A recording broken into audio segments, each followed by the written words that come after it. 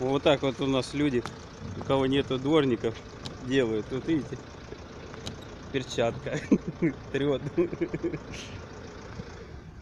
Вот так вот. Если нету дворника, чтобы не царапать стекло, надо вот такую вот перчаточку прикрутить.